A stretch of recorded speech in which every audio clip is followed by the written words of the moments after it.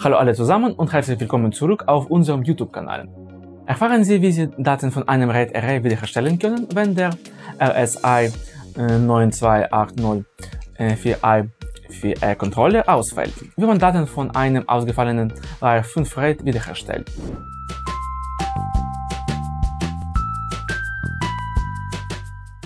Wie Sie wissen, ist der Controller ein wichtiger Teil der RAID Arrays.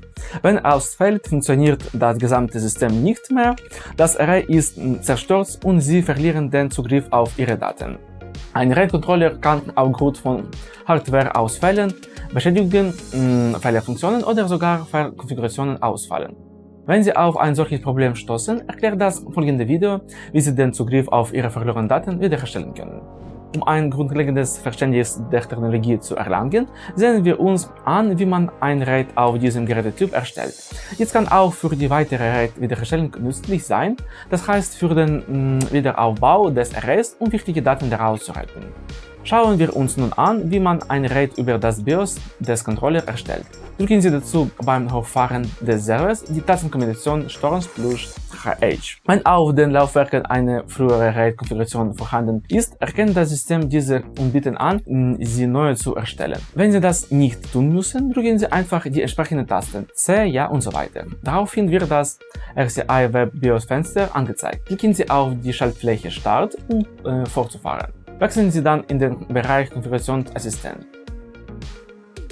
Im Fenster des Assistenten wählen Sie die Option Neue Konfiguration und klicken Sie auf Weiter. Sie erhalten einen Hinweis, dass die vorherige Konfiguration gelöscht wird und alle Daten verloren gehen. Klicken Sie auf Ja, um fortzufahren. Wählen Sie dann den RAID-Erstellungstyp aus, das heißt manuell oder automatisch und klicken Sie auf Weiter.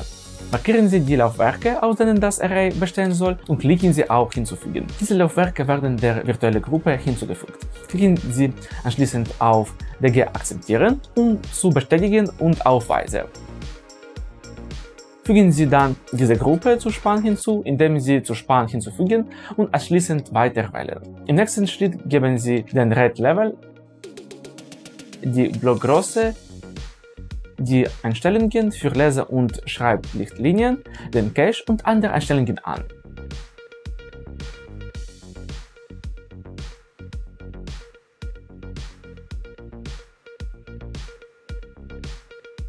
Nachdem Sie die Einstellungen konfiguriert haben, drücken Sie auf Größe aktualisieren, akzeptieren und weiter.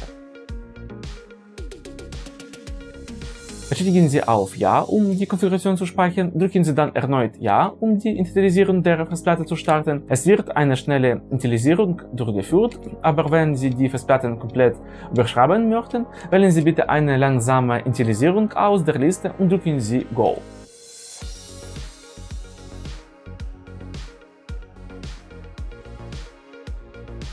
Das RAID ist erstellt. Nun müssen Sie den Computer nur no, no, neu starten. Der nächste Schritt besteht darin, das Laufwerk zu partitionieren, den Zugriff zu konfigurieren und so weiter.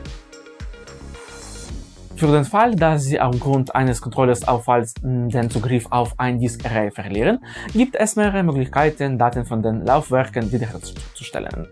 Die erste Methode besteht darin, festzustellen, ob der Controller defekt ist.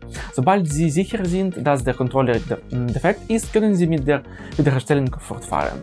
Die erste Methode der Datenwiederherstellung bei einem defekten RCI 92814i4e Controller besteht darin, die Laufwerke an einen funktionierenden Controller anzuschließen. Für diese Methode benötigen Sie genau denselben Controller oder einen anderen kompatiblen Controller, mit dem Sie die verfolgende RAID-Konfigurationen importieren können. Als erstes sollten Sie sich vergewissern, dass dieser Vorgang sicher ist und keinen Schaden anrichten, dabei und angemessen vorgehen, alle auf den Laufwerken äh, verbliebenen Informationen und wiederbringlich gelöscht werden könnten. Wir haben ein separates Video auf unserem Kanal mit einer detaillierten Anleitung, wie man die Laufwerke auf einem neuen Controller migriert. Die zweite Methode besteht darin, die Daten mit einer speziellen RAID-Wiederherstellungssoftware wiederherzustellen. Hyper RAID Recovery unterstützt alle gängigen RAID-Typen, die meisten Dateisysteme und verschiedene Arten von Arrays auf vielen Modellen von RAID-Controller. Für die Datenwiederherstellung müssen Sie die Laufwerke mit dem Windows Motherboard verbinden. Wie Sie sehen können, hat die Software die Festplatten automatisch in einem beständigen Array wiederhergestellt. Sie ist auch in der Lage, ein RAID zu erstellen, selbst wenn eine oder mehrere Festplatten fehlen, abhängig von der Ebene des Arrays. Wenn Ihre Hauptplatine nicht über genügend SATA-Anschlüsse oder Stromanschlüsse verfügt, können Sie Adapter und Erweiterungen Studien als Beispiel verwenden. Markieren Sie das RAID und überprüfen Sie, ob die Software das RAID korrekt erstellen könnte. Wenn dies der Fall ist, klicken Sie mit der rechten Maustaste auf die Optionen und wählen Sie Öffnen. Wählen Sie als nächstes den Analysetyp Schnelle Suche oder vollständige Analyse. Für die meisten einfachen Situationen ist die Schnelle Suche ausreichend, da sie weniger Zeit in Anspruch nimmt. In manchen Fällen hat die Software die Aufgabe problemlos bewältigt. Wie Sie sehen können, hat sie automatisch ein RAID erstellt und alle Dateien gefunden, die auf dem Festplattenarray gespeichert waren. Gelöschte Dateien werden hier ebenfalls angezeigt, sie sind mit einem roten Kreuz markiert.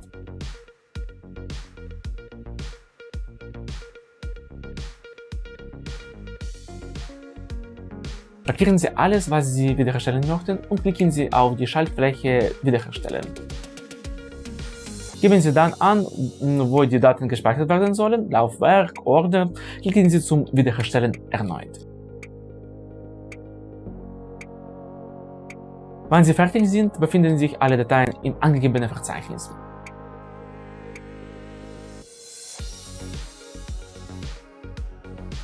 Wenn die Software mit der Schnellsuche keine Dateien finden kann, finden Sie die vollständige Analyse durch. Gehen Sie dazu zurück zum Hauptmenü des Programms, indem Sie mit der rechten Maustaste auf die Portionen klicken und Reanalyse, vollständige Analyse wählen.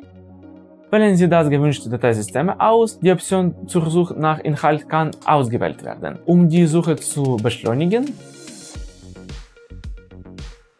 wenn immer noch keine Datei gefunden werden, führen Sie eine erneute Analyse mit aktivierten Inhaltssuche durch.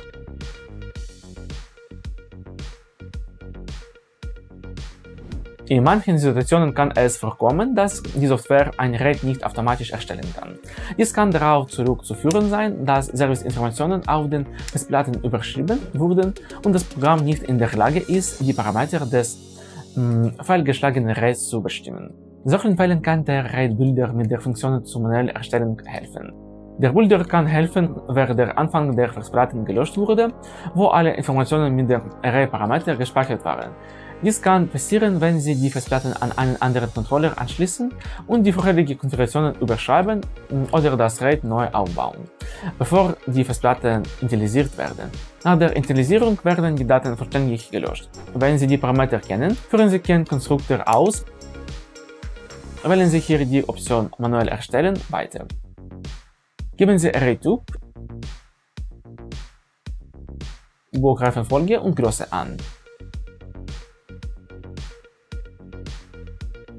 Fügen Sie die Platten hinzu, auf denen es besteht, und füllen Sie die fehlenden durch leere Platten aus, indem Sie auf das Pluszeichen klicken. Möglicherweise müssen Sie auch den Offset angeben, an dem sich der Anfang der Platte befindet. Äh, Sie müssen auch die Reifenfolge der Laufwerke angeben. Wenn Sie hier alle bekannten Parameter angegeben haben, sehen Ihr RAID. Wenn die Parameter korrekt angegeben sind, erscheinen hier Ordner. Sobald Sie die Parameter angegeben haben, klicken Sie auf die Schaltfläche hinzufügen. Äh, das RAID wird dann im Datenträger Manager angezeigt. Führen Sie nun die Analyse durch, suchen Sie nach Dateien und stellen Sie die gewünschten wieder her.